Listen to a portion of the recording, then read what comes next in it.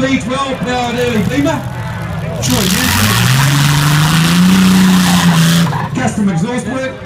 Let's see how the big 3 goes out there.